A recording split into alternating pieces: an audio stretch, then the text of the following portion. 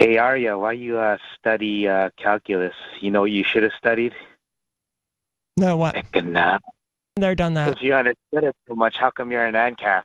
Whatever. Voluntarism But, uh, isn't a market position, and, and and I don't care about whether or not an economic system works. I care about whether or not it's moral. And voluntarism is a moral position where it's wrong to initiate force, violence, and aggression against. I don't care. Maybe force, violence, and coercion. Maybe they produce the most effective, streamlined society where everyone's making mad amounts of money and everything is. It, but you've still got force, violence, and coercion. It's still immoral, Yeah. right? The position that I take, I don't care about the economics of it.